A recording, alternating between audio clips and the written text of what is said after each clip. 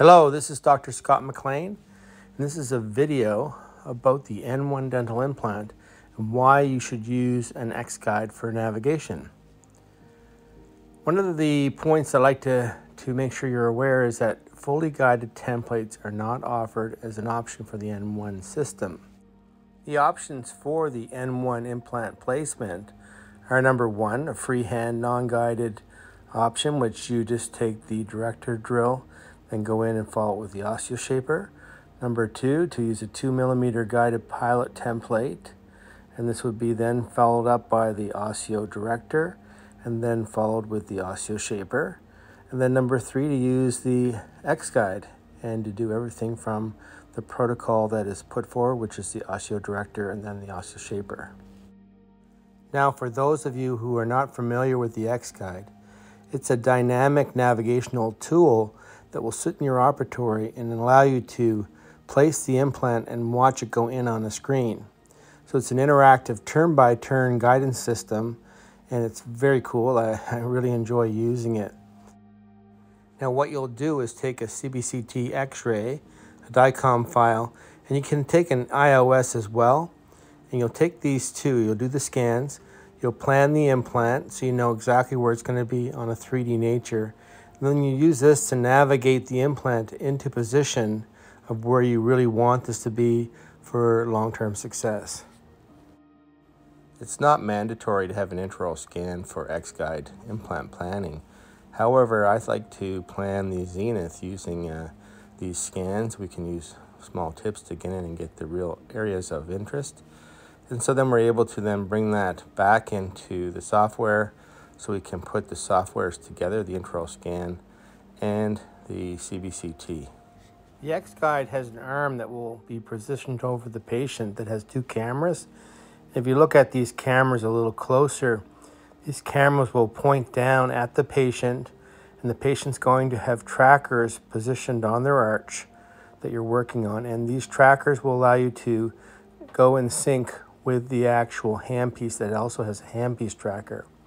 Once you have this, you'll be able to see a target and the target's going to be showing up on the screen and you're actually watching this to show where the position of the implant's going to be, also how deep the implant's going to be, and number three, the angle of the implant. So these are key positioned items that will allow you to put the implant into the exact depth, angulation, and position.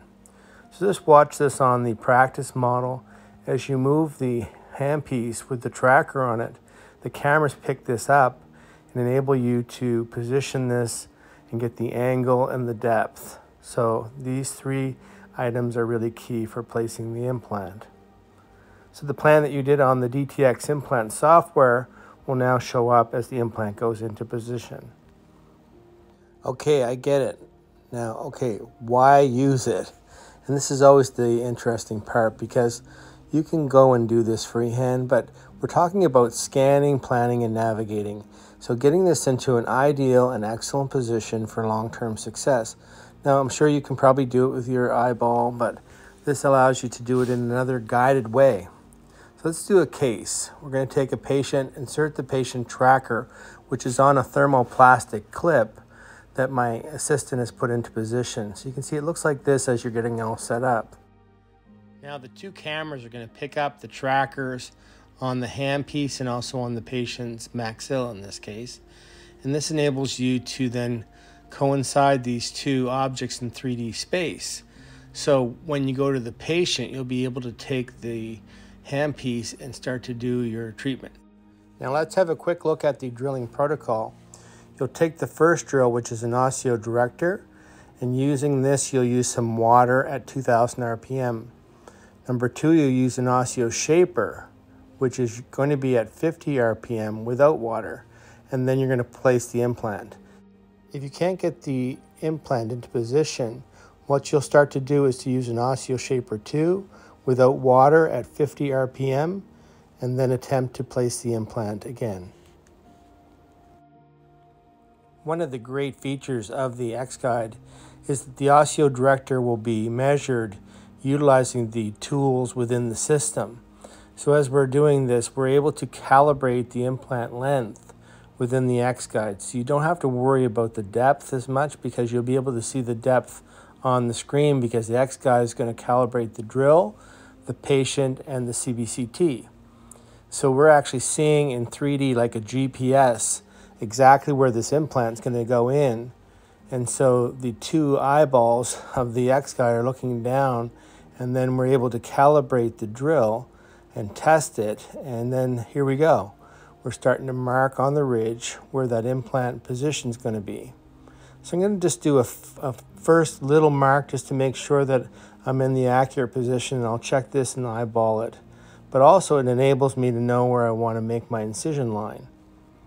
So this is a very interesting system because we can come in and using the trackers, we can know exactly where we're going to be on the patient. And this enables us to get a 3D GPS position with this wonderful tool.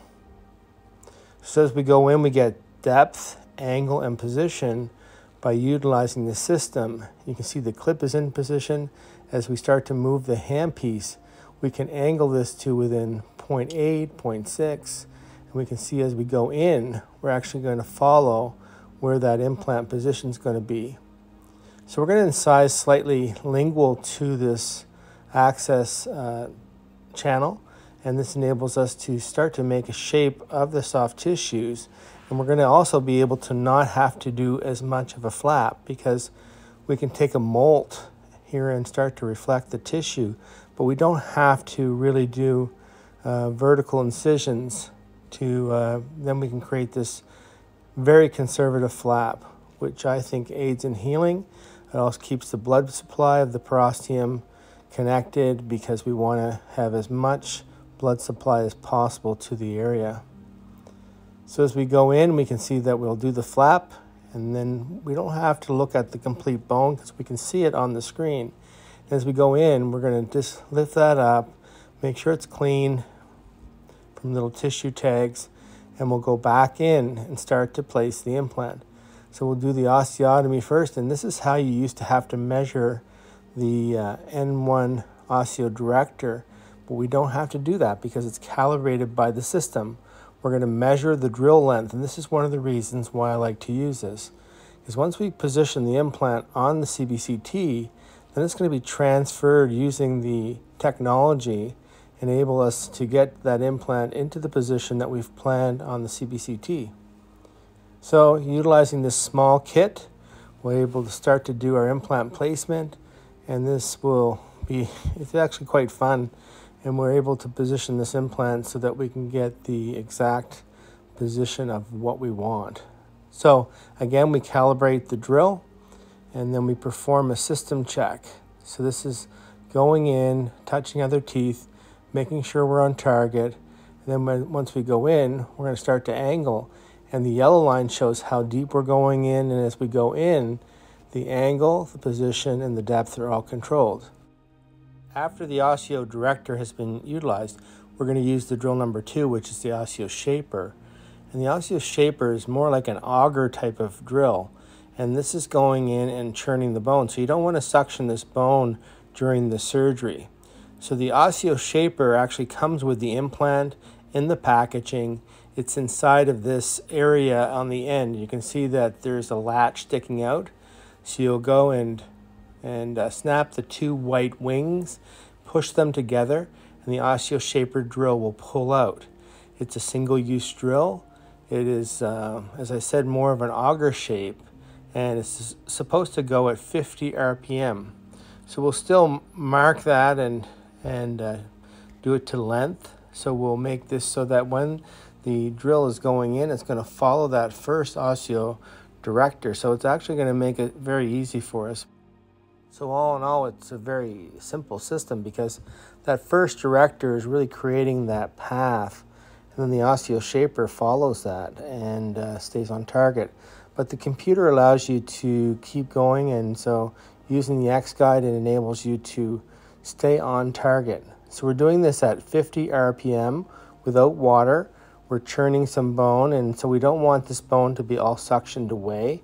So make sure your team understands not to be doing a lot of suction at this point. And then we can just check this. So looking at this diagram, we can see that we want to have position. So we want to be in the correct arch position. Number two, we want to have the correct depth. So we're at 13.6 on this drill. And then number three, we can see that we want to be at the angle. So our goal here is to come in and create this ideal position. And you can see as we back out, we're going slowly back out. And some of the bone's going to pull out, but do not suction this at this point. Our goal is to keep that bone in the osteotomy so that we can place the implant and start the healing process. Because there's not that zone of death, you know, this cellular zone that's been heated up and really big. So as we take this implant out of the package, you see it has a TiUltra surface which has a special coating, but it also has this surface that is very hydrophilic.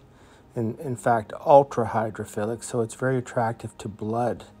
And so this is what we want at this point because we want to have this muco integration that's going to occur. So you see that the anodized surface is also enabling this to be various levels of roughness down the implant. Now you can't see this because it's nanotechnology, meaning that it's really, really small. But what happens is when you place the implant, the blood goes all over the implant and then the different surfaces of the implant as you go up and down the implant enable this to hopefully heal in a much more efficient and effective way. So as you put this in, you can see the uh, anodized surface, which is actually both gray and gold here. And this is by passing some volts through this, and it goes through a process of making the surface be very rough uh, down towards the end of the implant. And then as it comes up the implant, it's at different levels of surface roughness. And so it's a big topic for having a video like this, but it does make the implant um, tend to have a muco integration that's, that's good. Now our goal is to get this at a nice high torque. We could have put a temporary on this and started to do the healing process, the patient didn't really want this, so what she wanted was to have an implant. So we can see that the implant is torquing quite high. It's up to 70 newtons. And uh, this is what we want, is to have a nice firm implant at the ideal torque. And so we're also going to keep the flat side to the facial just to enable the prosthetics to be efficient. And so the, this is marked by having that line coming to the facial. So there's three opportunities as you put the implant because it's a trioval conical connection. So as we put this in, we're able to just position that so it's to the facial and this will help when you're doing the prosthetics. So we're going to put on a 1.5 uh, N1 base abutment, which is a Xeal abutment, meaning that it has a surface that's also rough, not as rough as the implant, but just uh, slightly rough so that the soft tissues in the junctional epithelium can start to connect to this abutment. So it's a one abutment, one time concept. We'll make sure the floss is in position, and then we'll use a base abutment driver to tighten this down. So we'll tighten it down by hand first, and then this is going to go to 20 newton centimeters to have the final seat of the abutment. Now we have two options on top of this from a prosthetic point. We could make an angulated screw channel, which would mean that we would take an impression from the base and then have an angulated screw channel built on top of this, which would be screwed down to 20 newton centimeters. The other option is to have a straight universal base that's going to be cemented into a screw-mentable crown. And when we do this, then we're able to uh, have a base which is going to be a metal universal base that's going to be attached to the uh, base abutment and then have a zirconia crown that can be made in really any uh, dental lab. So one is made with Nobel Biocare's lab and the other one's made in a local lab. So if you're going to do angulated screws uh, and channels, then you have to send it to Nobel Biocare through your lab. Now, if you were worried about bone and seating, you'd use a trioval conical connection bone mill but um, before you place this abutment, but uh, we felt confident that this was going to be fine. So I'm tightening this down.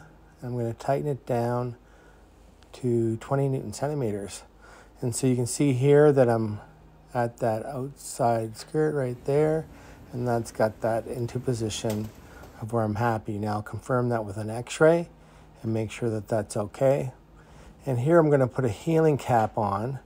And so now I'm using a OmniGrip mini screwdriver, which is going to be used to position this healing cap in, on top of that base abutment. So once you have the patient come back, you're going to take an impression either by doing an analog impression with a um, base level impression technique, or you'll also do, you could do a uh, IOS, so an intraoral scan, and uh, we'll show you this as the patient comes back. So have a look at the final x-ray. I think it looks quite nice and uh, all in all I was impressed with the X-Guide and I've been using it for a while. So I would encourage you to try it out and check it out and see what you think about it. I know that uh, many can still do the freehand and uh, all the best to you or even the, the two millimeter guide. And so anyway, give it a try. Uh, this is Dr. Scott MacLean and this has been a YouTube presentation about implant dentistry.